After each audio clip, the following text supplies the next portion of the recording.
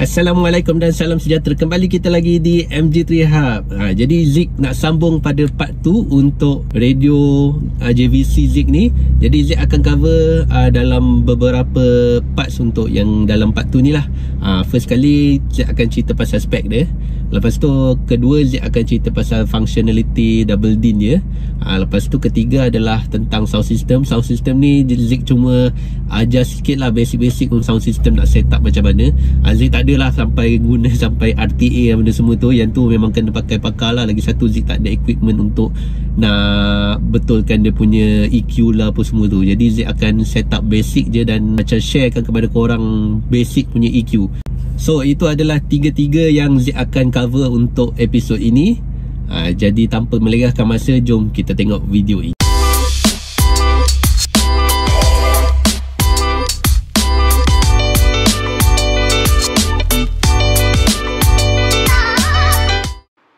lupa subscribe MG3 Hub dan tekan loceng notification kerana subscribe itu gratis guys.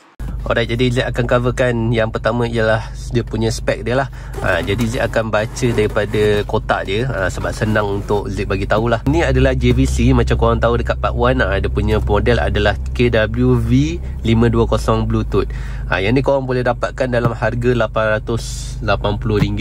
Ha, kalau dalam Shopee lagi mahal sebenarnya. So Zek beli kat kedai tu memang dapat kira harga yang bargain lah. Memang harga yang murah sebab Zik tengok kat Shopee jual semua 900 ke atas. Ha, kalau ada yang lebih murah korang boleh share kan ok jadi yang kat sini ha, dia adalah dia punya spek dia macam 200mm ha, yang ni memang untuk Toyota size. So korang jangan risau macam Myvi Gen 3 ni memang betul-betul ngam dengan dia ha, Jadi kalau korang tengok dekat sini Dia punya ni JVC KW KW ni stands for Kenwood ha, JVC dengan Kenwood ni dia bekerjasama So JVC ni dia bawah sikit daripada Kenwood Sebab tu harga dia murah sikit daripada Kenwood Tapi dia punya functionality dia Semua sama je. Jadi korang tengok eh Dekat, dekat belakang ni. Ha, Kat sini dia ada eh uh, ni macam biasalah bluetooth. Uh, tapi yang bestnya bluetooth ni dia boleh connect dengan dua dua phone sekaligus. Ha, so kalau contoh macam Zik lepas tu isteri Zik ha, isteri Zik nak buka lagu dia sendiri dia boleh buka. Ha, macam Zik nak buka lagu sendiri pun boleh buka. Memang bagus lah kalau contoh macam ha, korang ada member nak cakap eh aku ada lagu baru ni ha, kau boleh dengar nanti boleh buka kat sini. Ok lepas tu dia ada phone book access dengan audio streaming lah. Ha, ni macam biasa lah kalau kau tengok, korang tengok kat Android memang selalu ada lah Ha, so kat sini kita ada sound adjustment feature. Sound adjustment feature ni yang paling best lah bagi Zik Sebab dia bukan sekadar yang biasa-biasa je. Ha, Dia memang luar biasa lah bagi Zik.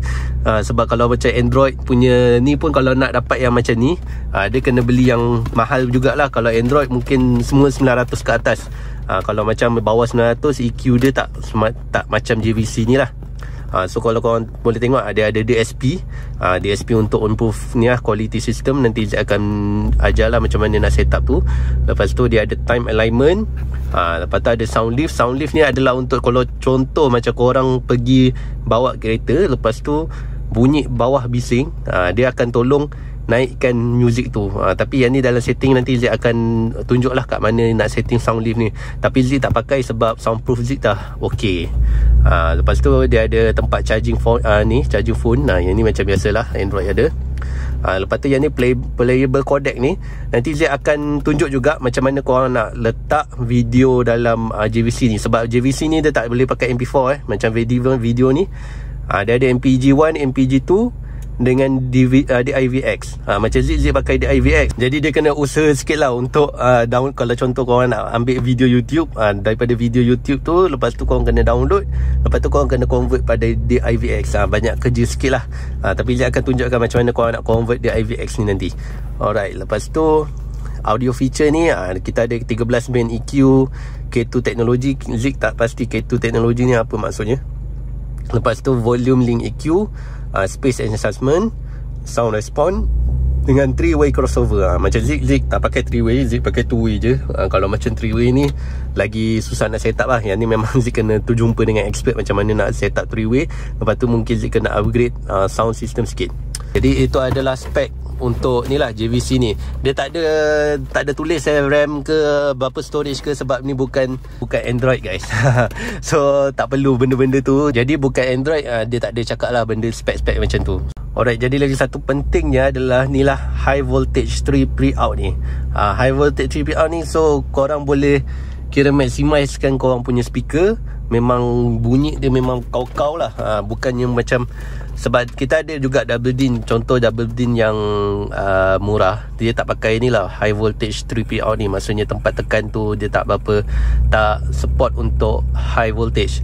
Jadi yang ni memang dia boleh support untuk kiranya bila korang buka music korang nak maximizekan dia punya sound quality tu memang bagus. Uh, ini adalah function dia. Okey, jadi itulah Zik dah cover dah pack untuk JVC ni. So kita akan cover pada functionality untuk uh, double din pula. Okey, jadi function untuk double din ni uh, Zia akan mulakan daripada home screen ni dulu lah uh, Macam ni korang boleh tengok uh, Ini dia punya remote control dia ada bagi sekali. Uh, Jadi memang cun lah JVC ni memang Siap ada remote control lagi dia bagi. Uh, Kita masuk dekat home screen lah. Uh, So home screen ni korang boleh tengok Dia ada USB, uh, Bluetooth audio, tuner, phone, down playing Kat sini boleh tekan all Uh, so dekat all ni dia adalah AV off. AV off ni maksudnya untuk tutup screen tu kalau korang tak tengok. Kita ada non playing. Non playing ni maksudnya apa yang kita play lah. Uh, macam ni kita ada disc juga. Kalau disc ni kalau Zik tekan kat sini pun boleh tekan disc ni.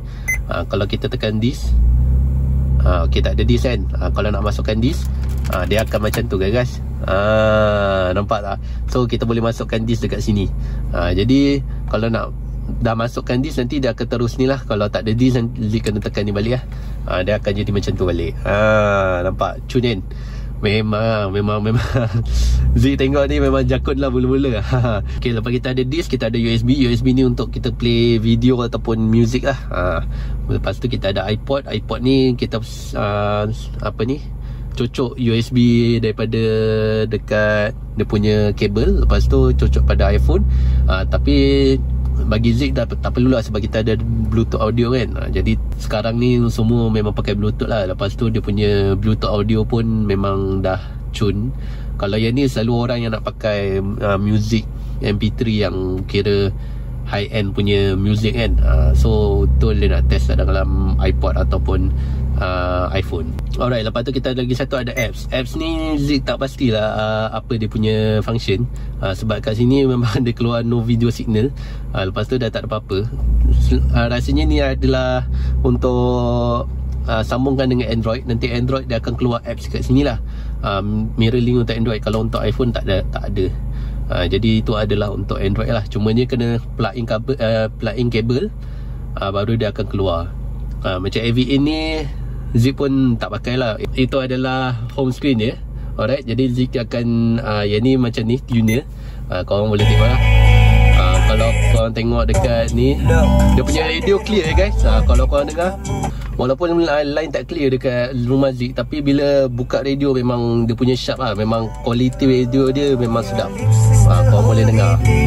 Uh, Jadi memang puas hati lah. Uh, Jadi nak dengar radio pun tak ada masalah Alright, jadi itu adalah untuk radio. Ha, Lepas tu kat sini kita ada USB lah. Ha, USB ni buka untuk video. Ha, Jadi ni untuk buka video lah. Alright. Itu adalah untuk home screen. Ha, Kita pergi kepada setting. Okay, setting ni audio ni nanti Zek akan uh, cerita lebih lanjut lah. So dekat display ni uh, Korang boleh buat macam dimmer, auto dimmer. Uh, Kalau macam siang dia akan lagi cerah. Lepas tu kalau malam ah dia akan kurangkan sikit lah supaya tak sakit mata. Ha, lepas tu user customize ni korang boleh setting lah. Home screen korang wallpaper nak macam mana. Lepas tu kalau macam nak letak image sendiri pun korang boleh tekan eh, korang boleh masukkan image kat dalam USB korang boleh masuk dalam ni lah. Ha, lepas tu panel color ni adalah dekat color tepi ni. Ha, macam ni Zik boleh tukar warna kuning. Ha, Zik boleh tukar warna hijau. Uh, tapi Zik suka warna putih lah Nampak dia uh, Universal Alright. Jadi kita ada OSD clock. OSD clock ni uh, Bila dia punya kira macam screen saver dia uh, uh, Macam scroll ni boleh buat once ataupun on. Lepas tu home customize. Home customize ni kita boleh customize uh, dekat home ni uh, Nak letak apa-apa kan. Uh, Macam ni Zid dah customize lah Letak uh, radio Letak USB dekat bluetooth dekat tengah ni Sebab benda tu Zid pakai selalu. Uh, Lepas tu Kita ada juga uh, screen adjustment. Screen adjustment ni uh, ini dia punya ni lah bright ni bila dim off berapa uh, dim on tu berapa. Uh, macam ni kita boleh kurangkan lagi kalau malam. Uh, jadi benda tu tak menyakitkan mata lah bila malam malam-malam kan. Kalau buka terang macam ni kan macam kau-kau kan. Ha, macam dim off ni brightness paling tinggi adalah 15 ok jadi video output uh, yang ni adalah untuk yang AV in lah. Uh, nak pakai PAL ke ataupun NTSS NTSC uh, so yang macam ni kita ada angle juga. Uh, angle ni adalah macam Zip buat ni eh. Uh, dia terkeluar sikit daripada uh, casing ni Ha, macam ni kalau tak sebenarnya dia punya ni standard macam ni. Ha, tapi Zip buat nombor satu ni sebab kepala kita dia uh, nak tengok ni kepala kita nak tengok ni dia ke bawah sikit. Jadi contohnya kalau double din korang dekat bawah lagi, korang boleh set up jadi macam ni uh, untuk korang tengok. Uh, sebab tu bestnya JVC ni kalau korang pakai Android letak ke bawah ni kan contohnya uh, macam kereta Kelisa ke kereta kancil ke tak pastilah. Uh, ada Zik pernah tengok dia pasang Android kat bawah ni. Jadi susah lah nak tengok dekat bawah ni. Dia punya Android tu kan. So double D ni JVC ni uh, bagus ni dia boleh screen macam ni lah uh, so kat bawah ni bila nak tengok senang lah Uh, tak adalah kita nak tengok dia straight macam ni dekat bawah ni susah kan. Uh, tapi Zik buat ni nombor satu ni uh, macam ni lah angle dia nampak. Nice lah. Uh, Zik on kereta uh, nanti dia akan automatic adjust macam ni. Uh, bila kita off off position pun kita boleh set. Uh, macam off position ni nanti boleh set uh, dia ternaik ke bil, maksudnya bila kita off kereta uh, dia akan ternaik. Macam ni Lee off kereta dia akan macam jadi macam biasa lah Lee tak ada buat sampai ternaik macam tu. Uh, itu kelebihan JVC yang Lee tengok kelebihan double D yang macam ni lah berbanding dengan Android. Android kita tak boleh nak adjust dia punya uh, angle tu Okay, kita pergi kat input-input ni ada rear camera. Uh, So ni rear camera lah. Rear camera ni interruption on. Uh, Yang ni adalah untuk interruption kalau contoh uh, Bila kita on interruption ni Nanti bila kita buka lagu uh, Bila kita reverse Nanti dia akan buka lah kamera tu kalau kita tekan off dia tak akan uh, buka kamera tu. Uh, so parking guideline ni kita boleh adjust juga. Ada ada on atau off. Kalau macam zip on kita boleh adjust. Uh, so dia boleh adjust eh dekat sini. Uh, dia punya angle tu macam mana? Uh, macam ni kan? Uh, dia boleh ke bawah sikit ke atas sikit dia punya line ni. Macam zip zip tak pakai lah ni sebab zip punya kamera dia angle dia lain sikit. Uh, so zip tak pakai guideline setup ni Alright, kita pergi sistem-sistem ni macam biasa lah language uh, English. Kalau korang yang jenis uh, Boleh baca Jepun tu boleh lah pilih bahasa Jepun. Uh, Bahasa Malaysia pun ada, jangan risau. Uh, Bahasa Jepun. Lepas tu clock ni uh, untuk setting clock lah. Uh, Lepas tu kita ada airport setup. Uh, Yang ni Zid tak pakai lah. Uh, Lepas tu app setup ni untuk Android. Lepas tu bluetooth setup ni untuk kita pairing dengan kereta. Uh, Macam biasalah. Pairing phone dengan kereta uh, beat ni bila kita tekan ada bunyi. So kita ada steering remote controller. Uh, yang ni korang boleh set uh, controller korang tu apa benda uh, macam ni lah so lead dah set. Tak ada masalah lah. Uh, lead dah set dah benda tu boleh tekan uh, volume atas volume bawah. Uh, tu je lead dah set lah. Uh, so korang boleh set dekat dekat ni lah. Dekat steering remote controller Alright, jadi yang bestnya kat uh, JVC ni dia ada lagi satu uh, gesture. Maksudnya gesture untuk uh, volume up dengan volume down. Uh, yang tu bestnya lah untuk ni. Tapi Android Zik rasa ada kot gesture tu uh, sebahagian Android. Uh, macam ni JVC ni memang dah ada eh uh, gesture untuk upkan dia punya volume pakai bulat-bulat macam tu je. So korang tak perlu tekan. Uh, nampak? Memang cun. Okey, jadi kita pergi ke sound system pula eh. Ha, ini sound system ni banyak sikit lah dia nak cover. Ha, so dekat sound system ni, kita mula-mula kita pergi dekat uh, boleh kita pergi dekat ni lah, dekat equalizer ni. Ha, so equalizer ni adalah yang paling penting ya, EQ dia. Ha, jadi EQ ni kau boleh tengok eh setup macam ni. Ha, ni sebelah sini dia lebih pada uh, deep bass lah. So dekat tengah ni adalah lebih pada mid uh, dekat tepi kanan ni adalah kepada uh, low end punya uh, low punya voice. Uh, so selalunya basic EQ memang kita set up macam ni lah untuk uh, bunyi dia sedap. Tapi kalau ikut RTA dia memang akan lain lah berbeza. Yang ni memang setup yang betul-betul betul-betul kira basic lah. Memang korang dah tak, uh, macam Zik Zik tak ada ilmu sangat pasal sound system ni. Jadi Zik buat basic je lah macam ni. Uh, tapi Zik kena adjust dekat uh, bahagian kanan ni nanti. Dekat ada lagi satu tempat tu kena adjust sebab dia punya ni terlalu tinggi. So uh, dekat sini kita ada bass external. Bass external ni uh, Zik buka on sebabnya bass external ni Zik, Zik ada pakai bass uh, subwoofer belopang external lah. Uh, so yang ni on sebab subwoofer ni dia ada lagi satu kiranya ada remote control dia sendiri. Jadi Zee pakai bass external je lah. Uh, sebab kalau contoh korang ada korang tak ada bass external uh, korang boleh tekan uh, off lah uh, untuk pakai bass tu dekat speaker-speaker korang. Ok jadi macam ni Zee tekan bass external. Lepas tu uh, kita ada all source. All source ni maksudnya uh, kita nak set up equalizer ni semua sama. Ha, macam dekat radio sama USB sama uh, dekat Spotify sama. So bila kita tekan kat sini uh, tekan OK nanti semua dia akan set up macam ni. Kalau tak nanti korang kena adjust ikut contohnya macam Spotify lain ni lain ni lain. Jadi bila kita nak set ni semua kita tekan all source. Dia akan set up set up EQ ni semua sama macam ni Okey untuk sound effect ni kita ada loudness. Uh, loudness ni Zik tak pakai sebab Zik tak boleh set up EQ dia lah. Uh, jadi tak perlu ni kalau macam korang tak tahu sangat korang boleh tekan on kalau nak bagi contohnya loudness ni selalunya untuk bila kita pakai volume lah kalau contoh uh, volume 16 bila kita tekan on kita boleh pakai volume 12 uh. maksudnya yang ni untuk lagi kuatkan uh, suara tu. Uh, bass boost ni Zik off kan sebab uh, Zik dah ada subwoofer Jadi tak perlu bass boost ni. Kalau macam korang tak ada uh, subwoofer Korang ada speaker Korang boleh tekan on Untuk boostkan bass dekat speaker. Uh, Jadi macam Zik Zik tak perlulah Zik dah ada subwoofer. Alright, untuk volume EQ ni uh, Zik biarkan off je Sebab yang ni Zik pun tak pasti. Uh, Space enhancement ni adalah untuk macam kereta korang Macam Zik kereta Zik uh, kereta compact. Jadi small lah uh, kalau macam kereta korang contoh macam uh, selalunya sedan. Uh, sedan medium. Uh, kalau macam korang uh, pakai MBV uh, ni selalu large lah. Jadi Zik pakai small lah untuk untuk K2 ni. K2 ni adalah untuk sound uh, orang yang bercakap ataupun orang yang menyanyi tu. Uh, so yang ni dia akan boostkan bunyi orang yang cakap ataupun orang yang nyanyi tu. Sebab tu bila korang dengar music daripada part 1 Zik kalau orang tu uh, menyanyi dia punya bunyi tu macam kira kita dalam dalam konsert.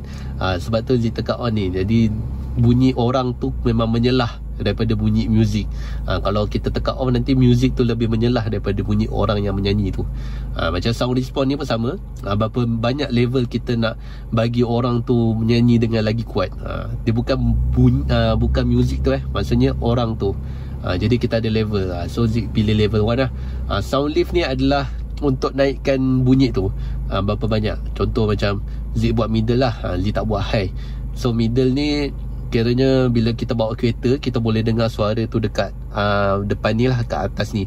Uh, daripada kita dengar muzik dekat bawah kan sebab bawah lagi bising bila kita bawa kereta tu uh, bunyi bawah bising kan. Uh, so kita kena ada sound lift ni lah untuk naikkan dia ke atas biar kita dengar. Ok jadi itu adalah ada sound effect. Uh, lepas tu kita ada masuk dekat fader dan balance. Ha, fader dan balance ni ha, kat mana korang nak music tu ada? Ha, macam Zip Zip buat kat depan lah. Ha, jadi bila kat depan ni Zip boleh dengar macam suara ni ada kat depan. Ha, yang ni adalah ni lah dia punya ni. Balance ni Zip tak pasti. Ha, fader ni pun ha, ini adalah untuk ni lah. Ha, fader ni dia punya tu F10 dekat mana. Ha, so ni memang buat kat sini lah. Bila kalau korang nak biasa center dekat tengah ni. Itu untuk fader dan balance Lepas tu kita pergi speaker dan X-over Alright, speaker untuk S-over ni uh, Korang boleh pilih eh Compact Full size car, wagon, uh, minivan, SUV uh, Macam ZZ compact lah.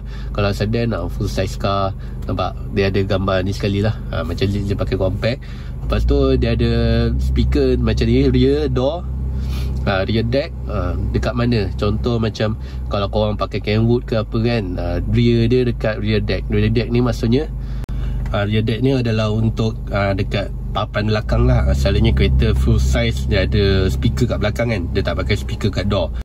Uh, Jadi kat sini speaker select. Uh, So korang boleh uh, setting speaker depan tu berapa banyak size? Ha, macam ni Zik punya speaker depan 16cm Twitter besar dia adalah middle. Boleh setting lah Twitter korang small ke middle ke ataupun large? Ha, macam ni Zik Zik middle lah. Ha, macam ni dekat speaker so size 16 lepas tu X over ni korang boleh adjust. Ha, Twitter gain dia berapa? Ha, macam ni Zik adjust dia bagi low adjust dia bagi uh, negatif supaya dia uh, tak terlampau kuat lah. Dia punya bunyi untuk low. Uh, macam ni korang boleh adjust ni tapi Zik tak berapa pandai sangat. Uh, so Zik biarkan macam ni lah. Jadi kat belakang ni pun kita boleh adjust uh, berapa speaker size. Uh, macam ni Zik 16am lah. Uh, lepas tu over ni pun korang boleh adjust. Uh, macam ni Zik tak berapa pandai memang Zik biarkan. Uh, dekat belakang ni pun sama. Deck ni berapa kiranya kat papan tu eh berapa size uh, speaker Okay, jadi kita akan bagi time alignment.